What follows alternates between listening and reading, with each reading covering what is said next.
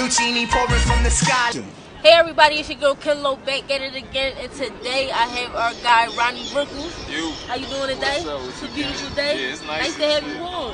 Nice. So let's get right into it. Like how you start with music, what you got cooking up. Right What's next? into it. I started right into it. I started 2014. Okay. Um, so I'm about to be 26 this year. So I was like 19. Yeah, I was 19 when I started. Um, my friends was just like, I got a weird Ronnie Riggles weird name. I guess people say it's a catchy name. So they was like, you can do this shit. Was like, you like music, just do this shit. I just started doing it. You know, we yeah. So fast forward now 2021, we about to just we here. We got the next album. It's called The Cost of Living. I think we met around the last album, Nebula, Yeah. like two years Mhm. ago. So that was like a couple years in between. Um, this one, yeah, we started to roll out two records out. We just dropped a visual called Times. So that's the I animated. seen song. it. Tell the- us about that. How was that creative process? That- Like, what was your thought process behind it? So that was my man Eyal Lerman, who's like an animator. Ease, I call it. Ease, that's my homie. He just so we did the record a few months ago, and it was a weird, like song, like it's like indie rock mixed with hip hop type, you know what I mean? Like the whistle. So we just, for me, it's like a big record. So we was like, need a big video. So Ease is real nice with his hands. So he hand drew all of that, every sequence. Okay. He hand drew all the sequences. He like he took small clips of me sitting here rapping a song. He would make a transition out of that, and then he, like for five months, he did that. Just kept adding transitions, adding transitions. Okay. And he was like, I'm like, bro, it's done. Like I had to tell him, like, I'm like, bro, I'm like, bro, this shit is hot. I'm like, bro. He was like, you sure? He was like, I'm like, what the fuck are you talking about? I'm Right. like, every everything he sent me over the few months, it was crazy. So we happy to finally drop that. That's the first. Like I said, the album is called Cost of Living, so I guess that's the lead single Okay. in the video. Um, it's a couple uh, features. We promoted the one joint with Boldy James. He's like a Griselda artist, so he's on there. First time linking up with an industry artist or whatever, like That's what's up. on some. That's It was better watch cool. out.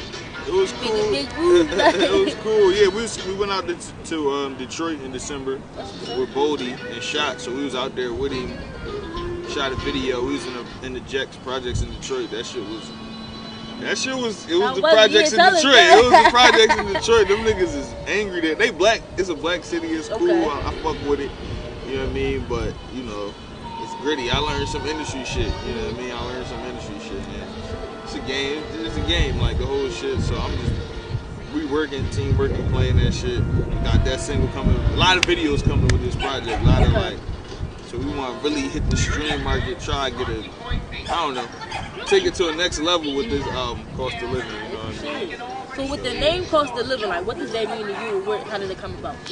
So I, I'm like a, I feel like a dude. Think like Nebula is like on some space shit, and I wanted like that was really out there. So I wanted to bring it back, but still have like a grandiose feeling. Like to me, cost of living can mean so much. Like obviously we got that basic like cost of living in the city, what it means. Like and we in a capitalist society, so that just means everybody got it costs to live, which is crazy. And then you got conceptually how it kind of costs you to breathe, just drink water, normal shit that's like your spirit, all of that shit. It, it all ties in like what it means, what it costs to live. So that's where I was at.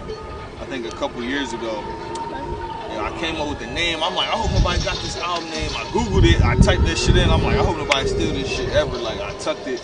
And I would tell my friends, like, yo, this album name, just to make sure niggas knew, like, yo, I said this first. Like, I don't want nobody to try to take cost of living later. Like, you know. But now we out, we dropped it, we announced the shit, so niggas can't steal the juice. Like, you know what I mean? So as far as like um projects outside the city, what you got planned for inside Philly? Like as far as working with other people, is anybody specifically that you want to keep in the tuck or you want to tell us about who you gonna be working with? In the tuck, man.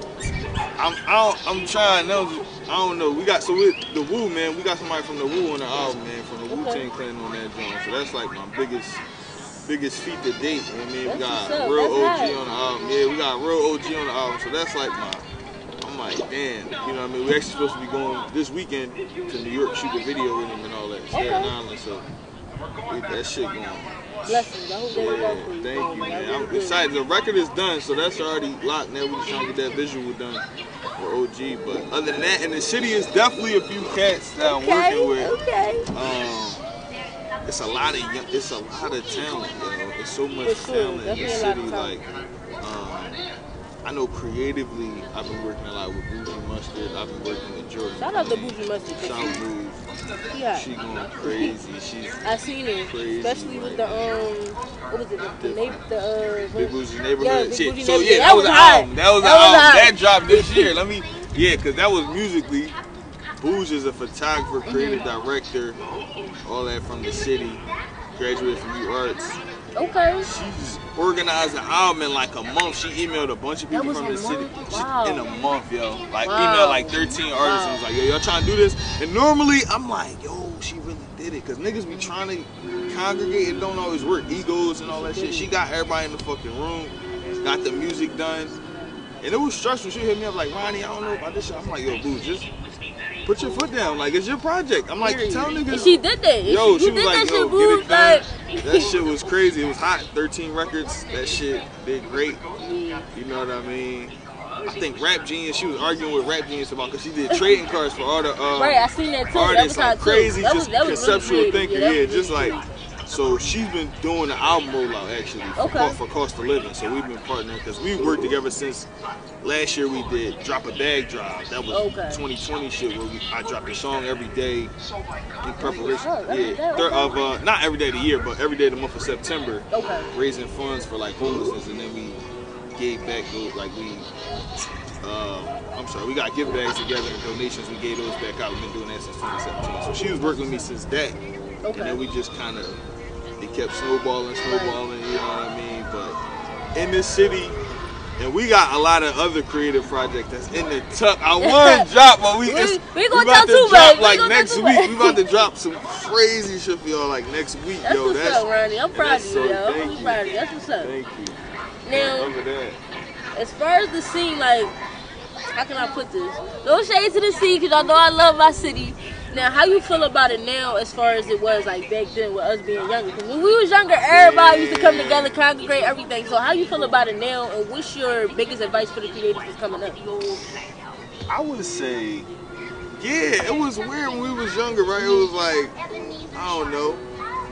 It was different. It was still the same community vibe, but I don't, I like I like them. My advice for them would just be doing because they they got a lot of genuine, just like sharing each other's shit. It's all love, and I like seeing that. Like we didn't, you know what I mean? It's not as it's it's inviting. This scene, I feel like I want niggas to keep being inviting, keep growing that shit because we got a big plethora of talent here. We can make a market here. You know what I mean? We Very true. can get them to fund us shit, our shit here. You know what I mean? So that's my advice to them. Just keep keep making art first of all. Keep making fucking art. Niggas be worried about this and that and Right. this and that and where why y'all not playing my shit? You're not making nothing. You're not dropping nothing. Why?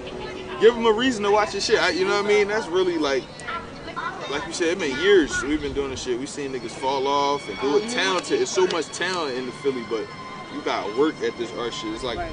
you know, the creative shit is like a muscle. You gotta practice that shit and whatever you whatever you do, like you know what I mean, you gotta do it. You gotta do it. Like that's really it. That's really it, We appreciate you for coming on. Yeah, Ronnie. You really do. uh, thank you. No Kim. problem. You already know. You already know. Tell me where to follow you at. Oh, find me, Ronnie Riggles at Ronnie Riggles, R O N N I E R I G G L. Yes, Ronnie Riggles. That's on everything. Ronnie Riggles. You already know who it is. we, we on Kenlo Show. We rocking. You know what I mean? Real Kenlo back at it again. You can follow me at the Kenlo Show underscore via Instagram. The interview's on the way. Watch out for Ronnie's creative ideas. That's all, folks. Later. Introducing Phantom of the Dark. Walk through my heaven with levitation from Christian deep as an E7 show. Boom.